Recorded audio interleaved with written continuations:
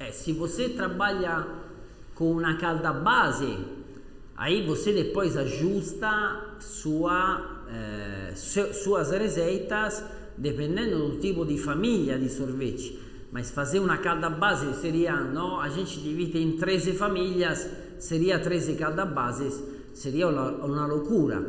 Agora, se você já comprou o pasteurizador, eh, eh, e trabalha com calda base, porque te ensinaram a trabalhar com calda base, nenhum problema. Agora, o que você terá que fazer é, de, eh, segundo a receita da sua calda base, ajustar depois a receita final, porque sabemos que a calda base não é sorvete, a calda base é uma base, é tipo como se fosse um concentrado que depois diluímos com outros ingredientes para criar a receita. Então, no momento que você vai criar a sua receita, terá que seguir não, alguns uh, como dizer, algumas determinadas situações por cada família de sorvete. Aí sim, uma vez que você transforma.